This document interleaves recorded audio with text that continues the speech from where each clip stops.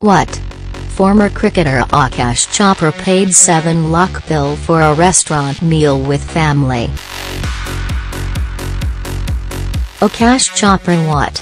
Former cricketer Akash Chopra paid 7 lakh bill for a restaurant meal with family Former India cricketer Akash Chopra recently took the Twitterati for a ride, after posting an image of a restaurant bill of 7 lakh.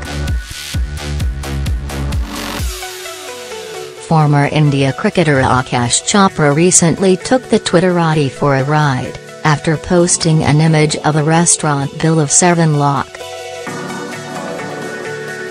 That's right.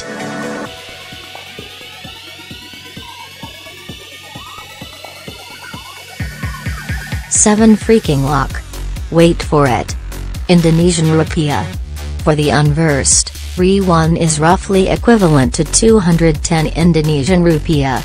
In other words, Chopra paid near about superscript 1 3500 that translates to 7 lakh Indonesian rupiah.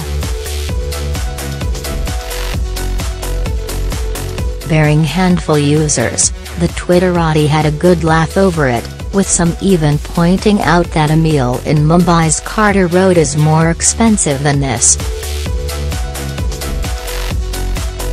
Chopra, like a good sport, took out time to respond to several users and engaged in light banter.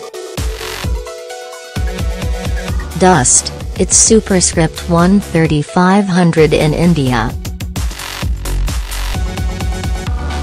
It was actually quite good Akash Chopra played for India from late 2003 until late 2004 as a defensive opening batsman.